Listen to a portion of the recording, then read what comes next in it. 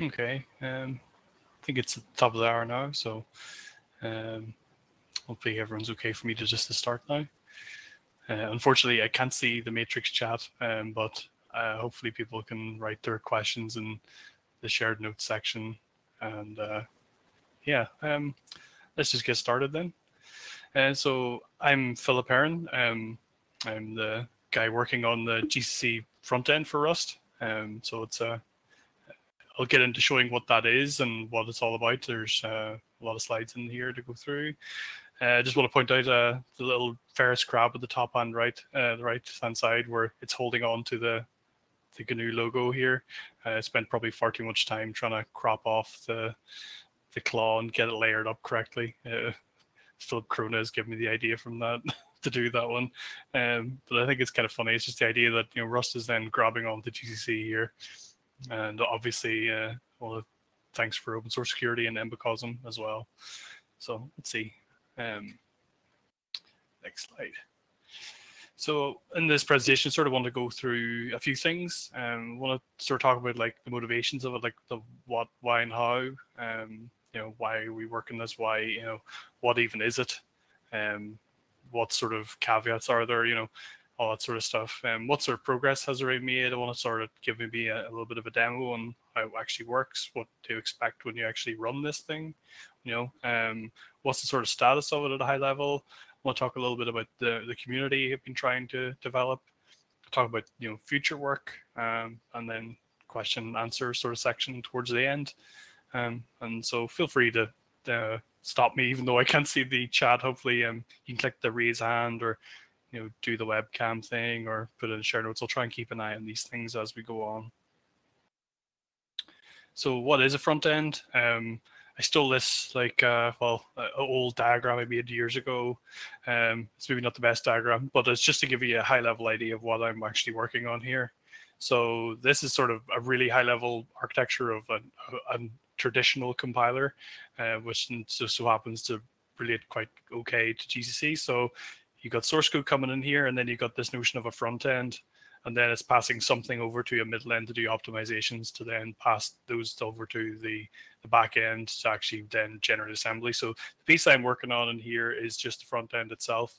And then we're actually you know producing the generic uh, code over to the middle end, which then turns into the you know the RTL and all that sort of magic in the back end, which then gives you your assembly, run your assembler on it, you get your object code, and you run your linker. So it's just a just traditional uh, compile um, compile pipeline that you would expect. So this is the piece I'm going to be talking about is just this front end piece here. And the reason I just want to show this diagram is that it, you know it's sort of it's alongside other front ends a larger system, which you'll also be uh, familiar with. So what is this? Um, so want to make um, a full implementation of Rust on top of the GNU toolchain. That's sort of a high level way to think about it. Uh, the, you know, we want to make this uh, as as robust as what you would expect from a normal C and C++ front end from GCC. We want it to be of the same level quality. We want it to be upstreamed, obviously. So when you get a build, or if you get a tarball of GCC, you will also get a Rust front end as well. You know, obviously, in that we are also reusing all of you know the GNU toolchain here. So that means we're getting to reuse binutils, LD, assembler, GDB. Uh, we're also writing this in C++, so that's something maybe to talk about later on. Um, and so uh, that means it's uh, much more easily bootstrappable um, going forward because uh, you know obviously GC is written in um, uh, in C and C well C++ now, um, and we want to we want to reuse things like the official uh, the official uh, Rust, you know, libcore, libstandard, um, and so on. We want to try and reuse those um, and as absolute minimal sort of changes to those as possible. Um, so that that's sort of the the idea of what this will eventually be, and you'll see a demo later on to actually show what it's like to invoke it and so on. Um, so personal motivations i think is an important thing to talk about. So you know i was working on this you know quite a long time ago um, and so i really do enjoy working on big projects. Or something uh, really satisfying about you know sinking your teeth into something. It's got a lot of scope there. Um, i think as i mentioned um, I and before the talk started, I'm a really big fan of people like uh, Andreas Kling and Tim Morgan. I know those guys on YouTube who like you know broadcasting and showing their hacking sessions on their projects. Um, I always enjoyed watching those, and even when their projects are really big, it doesn't matter. You learn so much by watching these guys, and you sort of you know it's the community aspect of that that I really like. Um, and then a side note to that, you know, GC was always going to provide a contrast to LLVM, you know, um, in terms of you know code size, is something uh, people talk about, like you know, whenever uh, there's the website uh. You always see them posting GC versus LLVM. So that'll be pretty interesting down the line, especially um, to see how these things compare in terms of code generation. You know, it'll be interesting to see how well GC actually handles a modern, you know, high level language like this. You know, um, although Go's there, Go does rely on a lot of runtime features. Um, and so it'll be interesting to see how GC will be able to optimize this sort of something that's a bit more similar to C++ in terms of what you can do. Um, be interested to see the register allocations, you know, for all the different targets it supports and so on, energy efficiency, there's all sorts of different features to compare and characterize at some point. I think there's already some questions coming in here. Um, what mechanism are you using to pull in the Rust libraries as Git submodules? Um, so at the moment, we're not pulling in any uh, of uh, Rust sort of code at the moment um, because we're not there yet to start compiling libcore, libstandard, or anything like that, obviously. Um, so I think down the line, I think it might be uh, interesting to try Git submodules, but I've had mixed um, mixed success with Git, submodules. Sometimes they work for projects, sometimes they don't. Um, I think it'll be it'd be nice to do it with Git submodules because it's a bit easier to track things that way. But uh, we'll have to see how how we get on at that point. Um, it could very well be that we might end up choosing to go for a more the approach that gccgo did, where you actually you know, pull in a copy of the those libraries that you care about or whatever you want. But um, we'll figure that out down the line. And the other question we have here is: Do you plan to use to use and pass the Rust test suite? Uh, yes, that's one of the things we really were passionate about. We want to make sure we get you know, compatibility with the uh, Rust test suite. You know, that's really important. Um, uh, one of the things that um, in some ways I find difficult. Uh, it's maybe a bit more easy to talk about down the line, but uh, the Rust test suite does sort of mix a lot of what it's testing in each test file. So sometimes I, I quite like writing test files that are explicitly testing a certain thing, but that obviously means down the line you also need to write tests that are you know combining these things together. But a lot of the Rust test suite does combine here. I'm using a lot of these attributes and I'm using all of this and I'm using all of that. Whereas at the moment, you know, I we can we don't have lib standard and so on, so I can't use things like transmute in my test cases yet. Um, so uh, there's we're building up our own test suite at the same time as this. That's maybe something I'll talk about at the end about the rationale behind that. Um, so I'll probably talk a bit more about testing towards towards the end. Um, so some of the benefits to talk about, similar to uh, Antoni's uh, talk earlier, which is fantastic. Um, you know, it provides like an independent implementation of Rust that's you know separate to the Rust toolchain, so that it actually you know breaks the dependence on Rust code here. You know, the other part here is that we do get this tight integration with GCC you know, so we get a lot of the same benefits as being in tree. We don't necessarily have to, you know, patch GCC. We can just, you know, talk directly to GCC as we see fit. Um, we that might help, you know, with Rust C bootstrapping in the future. You know, that'd be an interesting thing. You know, we can natively just support GCC plugins. You know, we're already running our test suite that, you know, runs LTO and so on because it's just a normal front end. It just acts like a normal front end, which you'll see later. Um, so there's also like a useful uh, link in here in the in the notes that links to a paper about you know you don't want to do LTO with mixed uh, mixed languages in terms of like oh I built this thing with Clang and I built this thing with GCC. You kind of lose LTO and CFI there.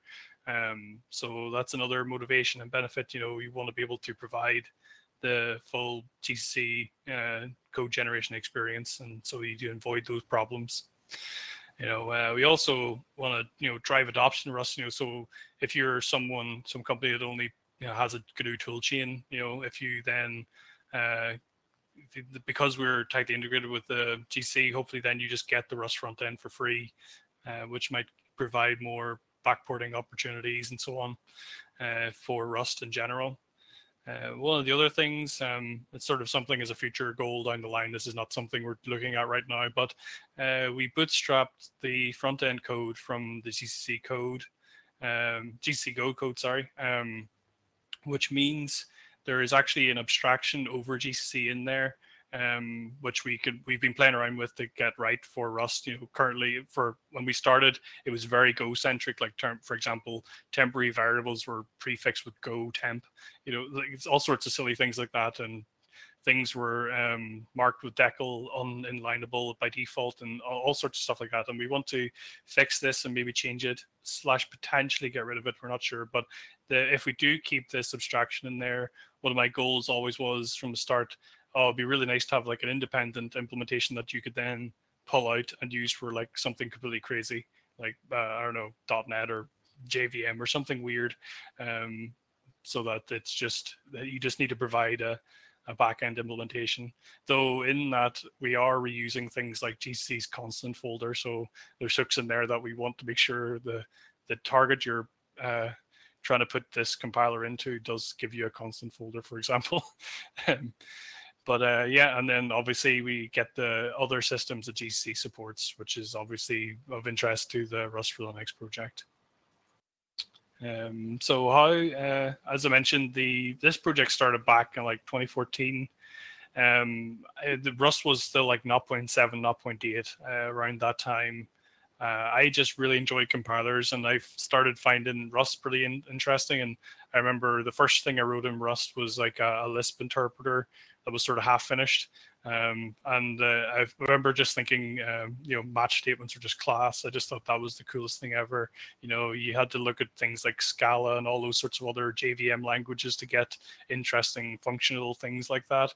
Um, but having that in an actual native language just was that you just knew that having those features from the get go in a native language was going to definitely be popular.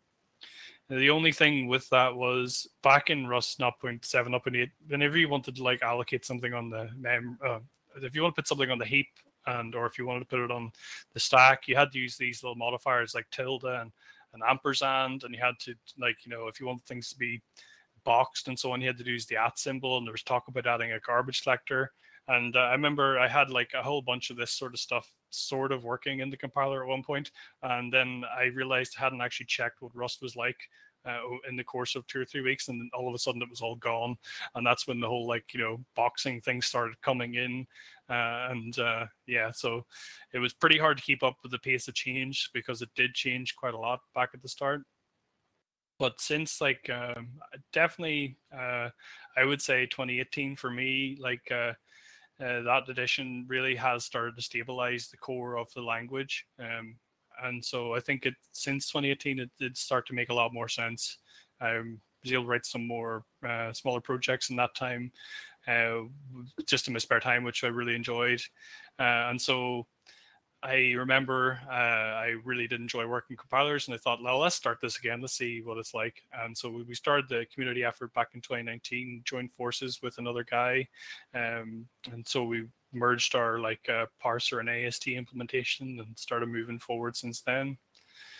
Um, but like uh, since the recent, you know, interest in the Rust for Linux ecosystem, you know, I've been uh, contacted, you know, uh, all um, by Brad Spengler from Open Source Security and Embecosm to, su- to support this project. And thanks to David Edelsohn from the GC Steering Committee for linking all this up for us. And uh, currently, I'm actually working on this full time at the moment. So um, uh, thank you to the, everyone there for making that possible for me. Um, so currently, um, I'm planning to try and get to like a minimal viable product, you know, compiler by you know, hopefully the end of uh, uh, next Christmas sort of thing. That's sort of where my rough estimate is trying to get us to, to something that's compiling something, which basically means probably something like um, Rust without a borrow checker, kind of like mrustc, but um, we'll I'll talk a little bit about the borrow checker towards the end about that. And so so far, done a bunch of different stuff. I've kind of tried to break down the project into like sort of high level features. You know, it's it's it's pretty difficult to do that with Rust. I have to say. Um, you know, so core data structures that was all about like, oh, can you actually um, have do you have primitive types? Can you compile like an integer and do some basic math on them? Uh, control flow one was all about like, oh, can you actually you know call a function and take the result of it and all that sort of stuff. And then generics, you know, actually having generic structs and uh, generic functions and generic impl blocks and all the different associated things there, because you can actually do traits until you have generics done first. Um, so I've done sort of core trait uh, resolution, sort of been working. And now we're on to control flow 2, which sort of is going to tidy up an awful lot in the compiler at the minute. So um, control flow 2 is all about, oh, we want to get closures sort of working. We want to start looking at, you know, um, uh, pattern matching a little bit. We want to fix up some of the bits and pieces with um, where constraints and bits and pieces around that, um, which will bring us towards the end of the year. Uh, but then obviously macros and config expansions, they haven't been started yet. Imports and visibility hasn't been started yet. There's all sorts of unstable features we haven't looked at yet, mostly around um, uh, const generics and there's generic associated types are becoming up and I think I remember reading somewhere that I could be wrong with this, but like the box keyword might be getting removed or something like that. I might be wrong there. Uh, intrinsics and built-ins and so on. Um, so they're not really started, but that's maybe not fully true. The the community has actually started an awful lot of these things. So some of this is all sort of started, um, and so that's kind of nice to see that. Uh, uh, that maybe there's uh, the community might be able to help me out here a lot. Um, so yeah, let me just give you like a quick run through of what this actually looks like. What do you, what will you actually um, get at the end of this? Um, so I'm not sure if you can see my screen yet. I'm not sure what's the best way to figure this out. If you can see my screen. Um, is it viewable? Yep, we can do okay. it. All good. Awesome. Um, so I've just got a couple examples here. I just want to give you an idea of what this looks like. Um, so let's just do the classic hello world. So as I mentioned, we don't have um, uh, macro expansion and we don't compile a standard library yet. So this is literally, oh, here's an unsafe block to call printf. Um, so what does it actually look like? You know, Rust C, you do Rust C uh, minus G, whatever. Um, but uh, GC Rust, you know, uh, compile it as if it's like a normal GC program. So I've got the compiler, manage G for debug symbols. I'll turn off um, debug because it's kind of, a lot of the examples are kind of toy examples I'm going to show you. Um, but uh, they're, they're, a lot of the optimizations are actually working now, which is nice. Um, if I then compile hello, uh, give it an output of hello. Um, and so then I can run hello. So we get hello world one, two, three.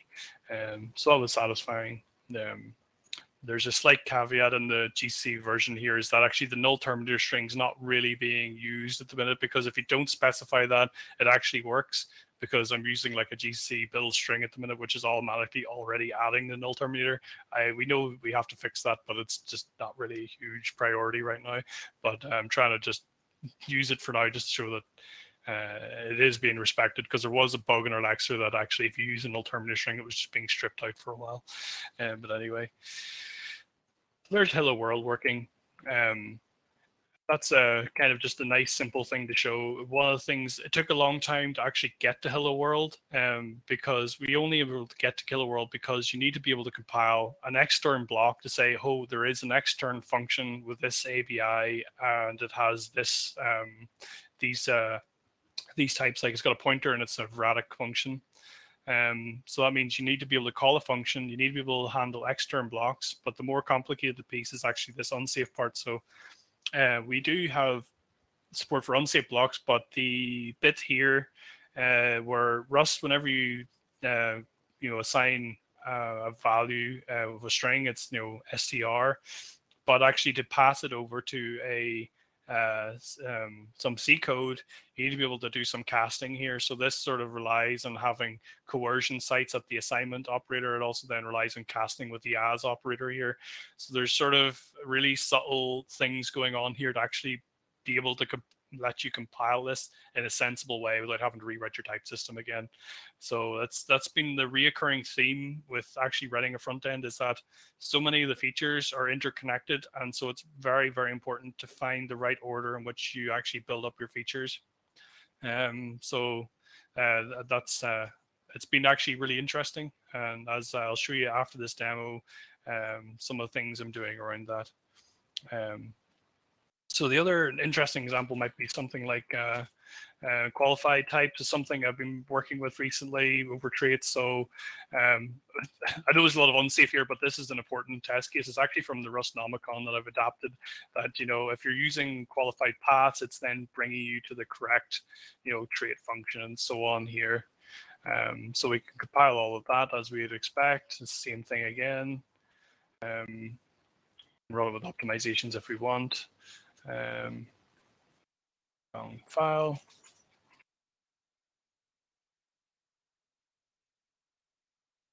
Uh, that's the correct result.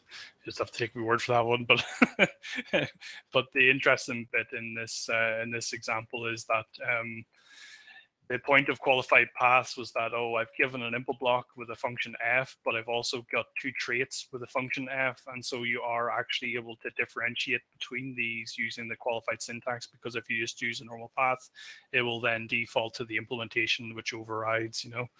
Um, but yeah, so that's some of the interesting things we've done around traits. Um, another thing we've been really is really important to this project is error handling. Um, so this is just a really example, uh, uh, basic example here, but a bad type error. So for example here, I've got a as a boolean here, but actually we're going to pass this boolean to this function called test. So um, the you should see an error here basically.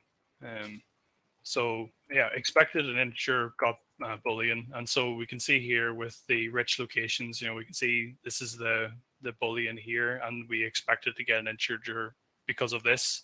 Um, so we are working quite hard to try and get decent error messages, uh, which is really important. Um, and for example, the next error message we're going to show you is um, is an example of how why it's so important. So there's um, I look at this uh, this example, uh, if you have a generic structure, but you have an input two impl blocks here, um, you have one that implements it for isize, one for f32, for example. Um, if you're actually then using a path here, it's impossible for the compiler to differentiate which function test here is the correct one because what happens here is the compiler is going to use an inference variable to try and figure out which one, but there's not enough information to differentiate with them. So, um, for example, the error you get here is um, multiple candidate error. Um, so you have multiple applicable items for the scope. The reason that um, I do draw um, why these are important is that I do use um, error messages to try and figure out if I'm if we're tackling the particular features in the language correctly. Because if I can't, if the compiler can't um, detect a particular error condition, it probably most likely means there's a bug in our implementation. Um, so to be honest, most of the time when I'm going through the Rust test suite, I'm looking for error test cases.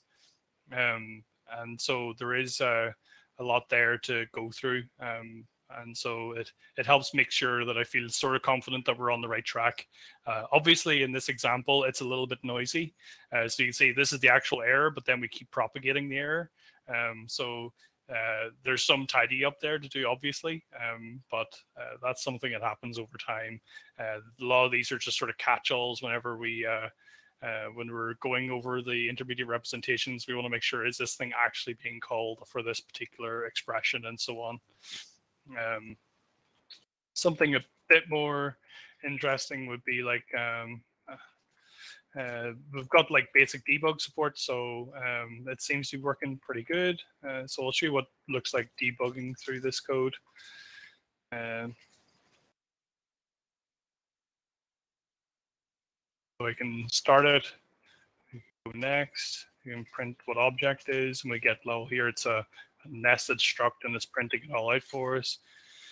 You know, um, and so we can keep going as, you know, and it'll show you like nice little bits and pieces here um, of what things look like. Uh, I suppose I, I, should say thanks to the communities really helped me figure out how to get um, debug support right because in Rust there's there's conventions about how you generate the uh, debug support correctly. Turns out if you've got like a tuple, um, like the fields with a tuple are meant to be like prefixed with two underscores and things like that to get the proper debug support. So there's sort of little caveats in there to like figure out the right way to get this stuff um, done, basically.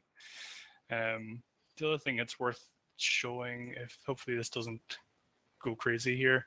Um, I try to be uh, really open about like how I'm tackling this project. So one of the things I did was make this sort of spreadsheet, and I sort of went through the Rust like book to try and like uh, take out all these like high level features and try and say try and figure out a best way like where are we in this. Um, and sort of track it this way. Uh, I, it was difficult to set up at the start, but I think it's been worthwhile um, to try and figure out where we are. But the other thing is, I keep this like uh, reporting repository open on GitHub. So uh, we uh, keep um, a weekly report and a monthly report. So it keeps track of everything that we're doing. And I like to go into detail about uh, what the contributors are doing. I really do like to big up like what work each every person is doing, and I like to show uh, examples and talk about the examples uh, about how they work and so on. So um, I've got multiple tabs of that open. So a report might look like this. So we've got um, some sort of deref working. So we finally able to do methods with you know, without having to have the exact type. You know, the compiler will inject the reference and so on. Um, there's also we fixed up some of the debug support. So we give links to like Compiler Explorer. Whenever the Rust for Linux project give this example for Rust for um, for uh, for the different compilers. There was a bug here that we weren't actually getting this um, optimized correctly. So now we are getting it optimized, so it will detect this. You know, um, and I like to be able to describe, you know, um, show where are we with the issues, how many issues have been created, how many test cases have we added, um, how many bugs have been found, how many bugs have been fixed, what sort of percentage are we going through, any risks, and so on. Um, and so uh, that's kind of a rough overview of um, how the project uh, looks like at the minute. So we'll stop sharing. Um, the uh, another question I get after that is this uh, compiler pipeline work. This um, this uh, diagram's a little bit out of date. Uh, there's there's some extra steps in here, obviously, but the overall idea is like, oh, there's a Lexer, there's a parser, we get an AST, and um, we have a macro expansion pass, but it doesn't really do anything. There's um, there's hooks in there though that we actually at there's see macro expansion config expansion are two separate things but it's represented as one thing here um so not quite right we've got name resolution we've got HIR lowering we've got type resolution and then we've got um our generic backend which is a terrible name but that's us you know generating the gcc code and then we give it to gcc so we aren't doing MIR because i think MIR looks a lot like um gcc's generic in a lot of ways um but yeah, this kind of rough overview of what it sort of looks like. And we'll talk a little bit about the community. Um, so one of our contributors, Mark, uh, he sent us this lovely picture. He's got his custom keyboard project here. He's got a little Ferris. And I, uh, for all the contributors, I've actually sent out a, a, little mug to say thank you, saying compilers are hard. And they most definitely are hard, but they're pretty satisfying. And it's also holding on to the wee GNU logo. Um, and so the goal here is we want to make working on compilers fun. Um, obviously, I mentioned earlier we've done status reporting, and I want to shout out to all the contributors every time I do that and be as open and transparent. And one of the things we do have is this monthly community call. It's on the first Friday of the month. It's kind of a good time for me because that's 10 a.m. for me at the moment. Um, but I think we might be looking at either doing a second call or moving the call to maybe if there's people from different time zones looking to join.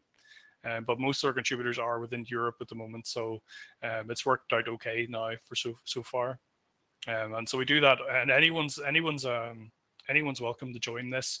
Uh, we give out the details in our status reports, um, like how to join it. There's just a Jitsi link, um, and so you don't need to necessarily join up to our Zulip server or join our IRC or our mailing list or anything. You can just click on the Jitsi link. You can turn your camera off and just listen, or some people like to participate and ask us questions and so on.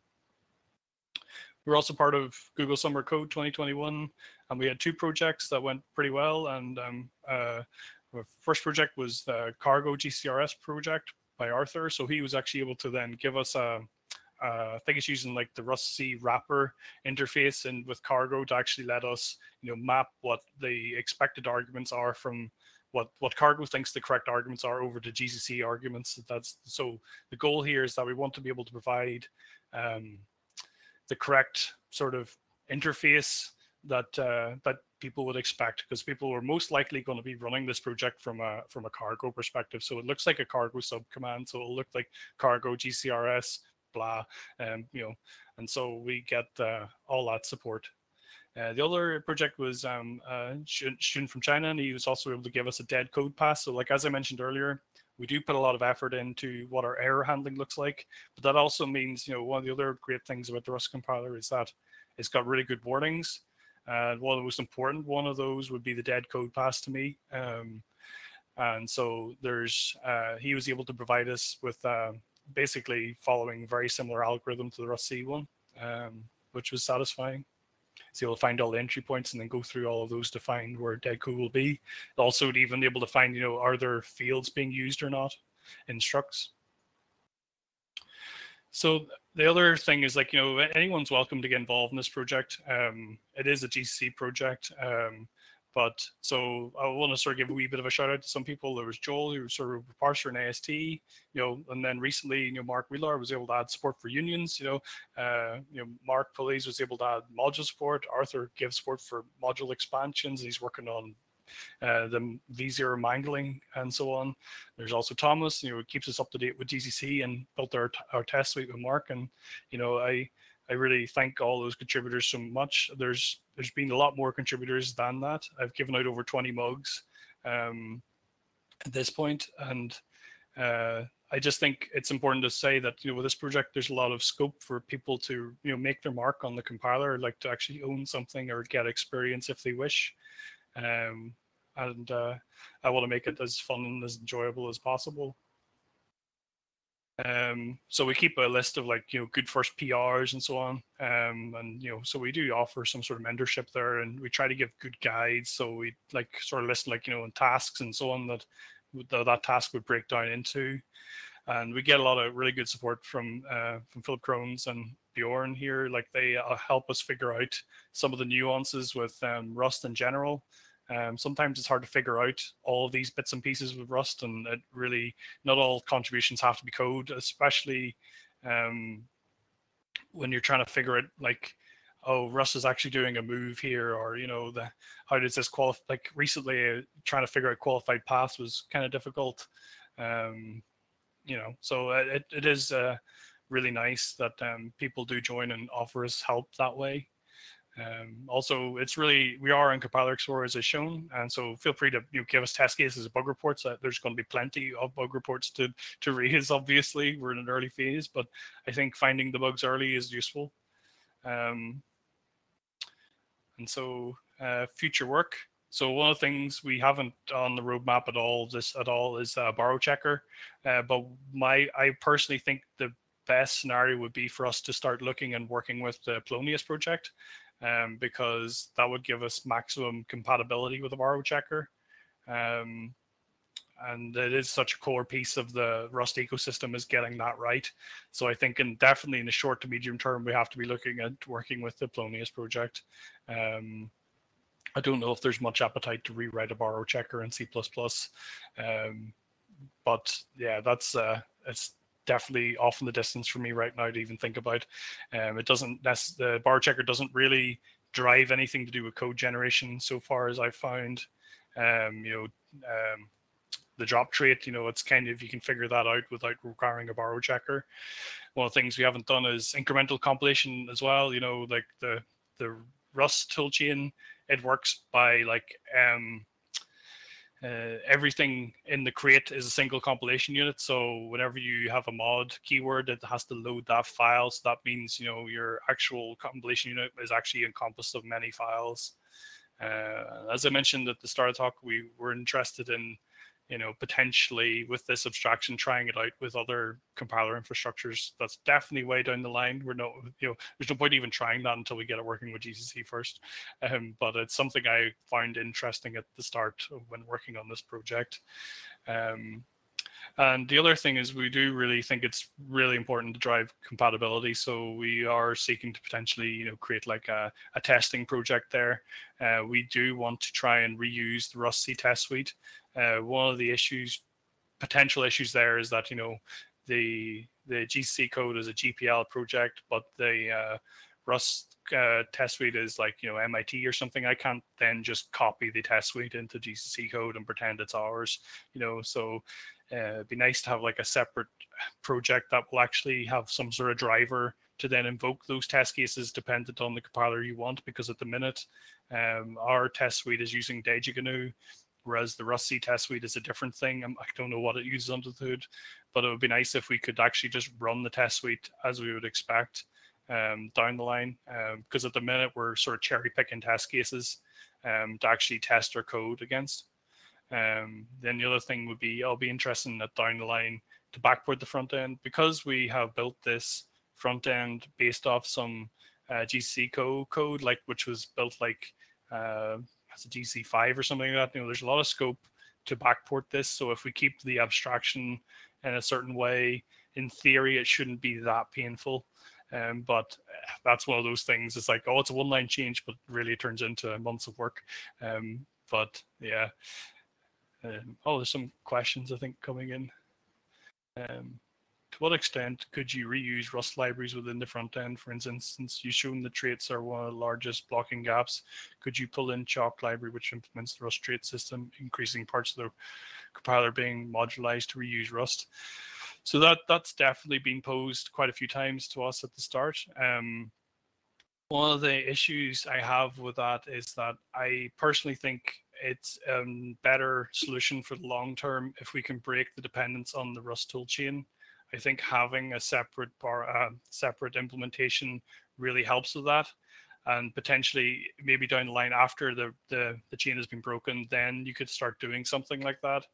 Um, I, I'm just not sure what only the only benefit it brings to me is oh it sort of might reduce some work but at the same time it's not really helping with bootstrapping or getting it onto different platforms because you're then still limited to the platforms Rust supports um, I kind of think it's better to break the dependence um, if you would say how easy it is to add support for architectures yeah so one of the things because we um, are reusing a lot of uh, uh, GCC stuff here. We are already uh, working on many different target platforms.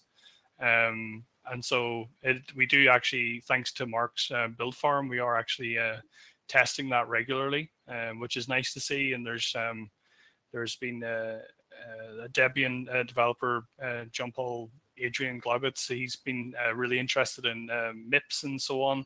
Um, so that's been pretty cool. We the actual uh, act of you know testing the compiler on these different platforms has uh, actually uh, rattled out some interesting bugs as well. So, for instance, like Float 64s just didn't really seem to work at all uh, until we got some patches through there. Um, um, but yeah, so it's been pretty useful uh, to test it on these different platforms. Um, a lot of what the language in Rust is a lot of what looks like the language in Rust is part of the standard library, somewhat like Java. How good Rust can be at a GC front end without tight integration, without a standard library? How does it work with tight cargo integration? Hmm, I'm not quite sure I understand what the question is here.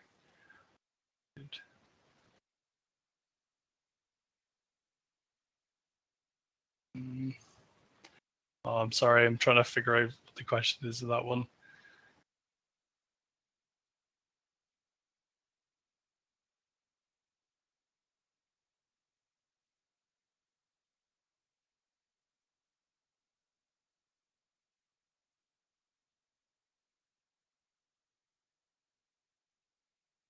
An end user, C is not there. Do you mean like, oh, cargo support? To...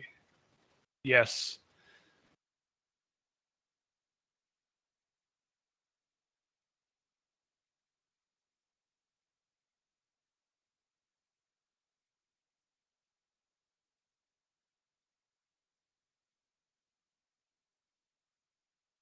Yeah, maybe um, some of those who are typing questions can uh, just basically ask them verbally and um, turn the camera on as well if they're having troubles.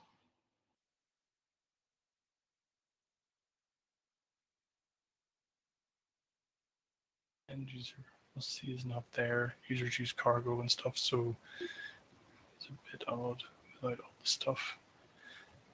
So uh, I think um, trying to answer that question. Uh, do you mean like we don't have the standard library or something? Well, the goal here is that we will be reusing the standard library. You know, it will be a GC Rust built standard library, libcore, liballoc, and so on. That would be the goal here. And we want to minimize the incompatibilities that could arise out of that.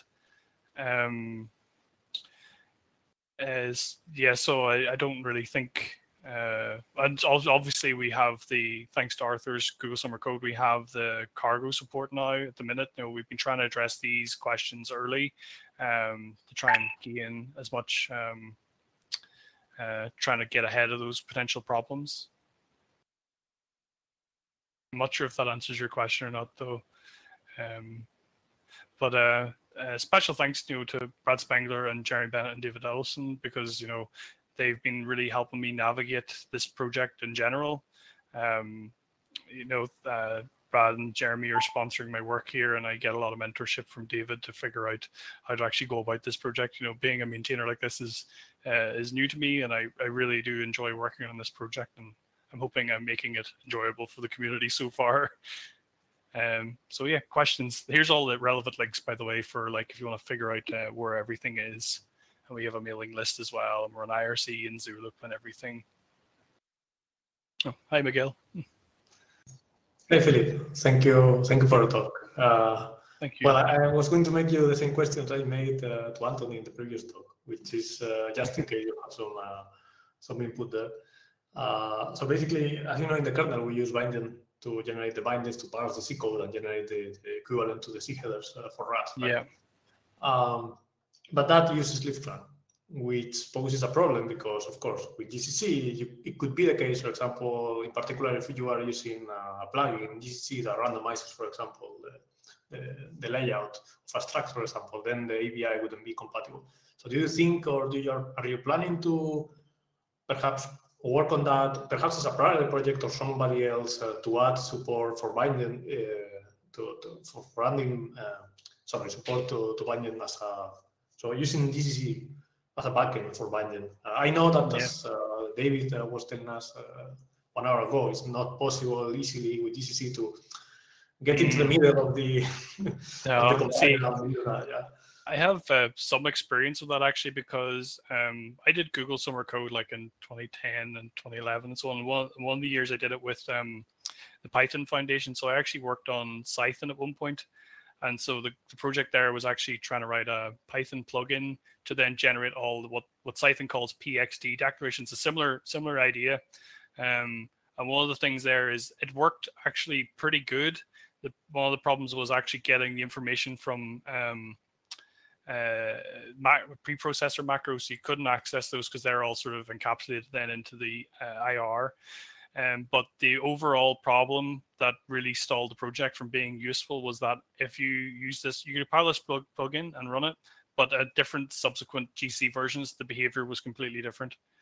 Um, and so that made it kind of difficult. Um, but as far as I know, a lot of that is stabilized. Around whenever I was doing that project, GC plugins were kind of just new, and the whole the GC was changing quite a lot. That was like GC four or five or something like that. I was working in then. We're we're, we're quite far away from that now. Um, I think it would be definitely re worth investigating like a plugin approach like that to get information. Um, I think. Uh, well, like it's it's an interesting thing you say there because at the minute one of the things our front end doesn't support this doesn't this doesn't sound related but it is support it's related. It's, uh, or doesn't support like uh, parsing like utf-8 stuff which rust does. Um, and so at the moment in gc there's like code in the c front end there's code in the go front end to do this but they're all separate implementations. Um, you know and it would be nice to start trying to unify some of this work to actually be able to call each other's code instead of having to re-implement any everything like another similar problem that I had was right logging in this compiler. I've currently been using a lot of Rust debug, just printf stuff. But you know, Dave Malcolm has this awesome logger there, and I've got a patch to then extract this out. So I think some of the I think some of the problem there is that we could maybe work better at you know, making reusable parts of GCC um, uh, which, which, is what I'd be interested in doing. Um, so, and to answer your question, I think it'd be worth trying again, um, given where we are now. But uh, yeah, I think uh, one of the things that's interesting here is that because I'm tightly integrated with the front end, uh, tightly integrated with GCC, we're actually able to then call all a bunch of stuff. So like as far as I remember, there's a bunch of stuff for like security and V tables and all sorts of crazy stuff like this that I could potentially reuse from the G, uh, C++ front end. And so that's what I'd be interested in seeing is um, can we extract things out to make this easier for more front ends in general? Uh, I think I went a roundabout way to answer your question there, but if I understand. No, I, I mentioned this and I also asked Antoni because basically for any project, not just a kernel, but any project that is written in C and they want to, when they want to adopt Rust, they will run into this, uh, like I want to generate, automatically generate the binders because I don't want to write them manually, of course, and then uh, there is this possibility of, uh, of issues. So I see like a, as a piece of the toolchain, so to speak. Yeah. Uh, I see it as a piece of GCC. I, I could even see it as a piece of GCC, let's say. Yeah. So uh, yeah. But of course, I mean, many user space projects, it works even with libclang, it will be compatible. So it will not be any problem. So it's only special projects, I guess. But yeah. Any, any yeah. I think that's one of the benefits of Rust, though. It has really good support for stuff like that. Like any other project like Cython, for example, you have to go and manually create all these things, and it it makes it so ugly if something there changes. And like Swig will get you so far, but Swig also has its own issues. you know, but I also do quite like Swig at the same time. Well, th thanks a lot for, for the talk and, and your work as well. If, I hope uh, in one year, two years, three years maybe, uh, we will be able to compile the kernel with GCC uh, with report course. We actually, um, uh, I forgot to mention, there's actually a project. Is it called Blake Eight or something like that on GitHub? Uh, it's like a nice minimal Rust program. So we're hoping to be able to compile that by Christmas. Um, it oh, basically doesn't really use any real like um, standard library stuff. There's a couple in there, but we can extract it out. I think so. It'll be interesting to see how many bugs we find, because whenever you posted that uh, Rust for Linux uh, uh compiler explorer example, there was like five or six actual bugs in there in our compiler. uh, there was uh, what people only noticed was that it was missing an optimization, but what I saw there was like six bugs. They're all fixed now. but that's I think I uh, was initially pretty nervous about being on Compiler Explorer, but it's been really worthwhile because it's yeah. better tackling these problems. Yeah, sorry if it was too early. Sorry if it was too early, but uh, I think it was very nice. It's very nice to have it uh, as much as possible and, and. Yeah. no, I think it was fun putting the, the thing up, up on Compiler Explorer. I know we will probably flood you, flood you, yeah, in English. Like, yeah, uh, that's good. I mean, then people are using it in anger and finding the real bugs instead of us finding it right down at the last minute. yeah, yeah. Thank you. No problem.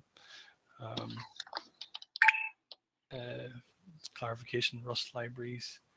Um, I understand that you want to be able to bootstrap via GCC. I'm asking, once you have some minimal level of Rust support, could you then introduce Rust code into the front end, which would then allow you to reuse Rust code? Yeah, that's definitely something um, I've considered. Um, I think we're still quite far away from doing something like that, but that's definitely, I would prefer that approach than doing it from the get-go. Um, um yeah, so uh, just want to give a shout out. You know, there's um, Open Source Security Inc. Uh, have been sponsoring a project as well as Embecosm, and um, so you can find their uh, URLs um, uh, in on Google. Um, so, and also um, GC Steering Committee as well. Uh, if I go back a slide, you can get their links. Yes.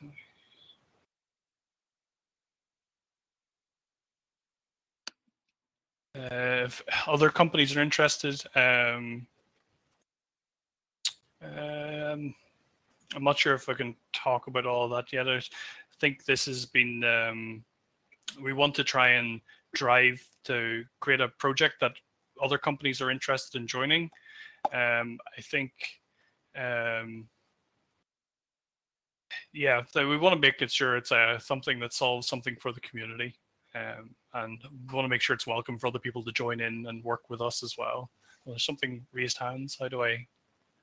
Um, do I have to click on that or? Yeah. Yep. If you click on that, that should do it. I can't see it when you're presenter. Sorry.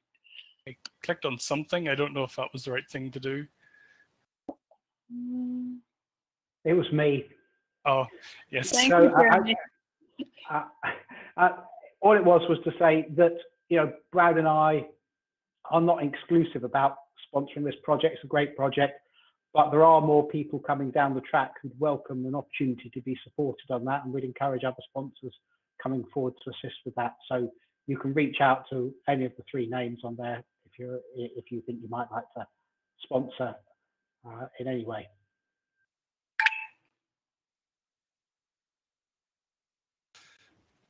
And thanks for uh, you guys sponsoring my work. It's been it's made a, a really great year for me. You know, I do really like Rust, and uh, I really like GCC.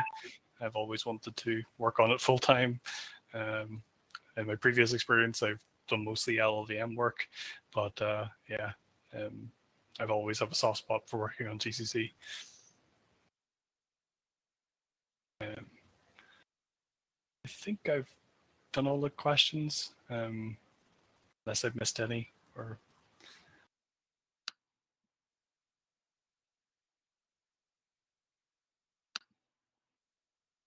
Yeah, I think you've done them all as well. So on that note, I guess probably, um, you know, keep an eye on the chat when you're actually able to have access to it, I guess. yeah. And um, thank you very much for a really good No, talk. Much appreciated. thank you.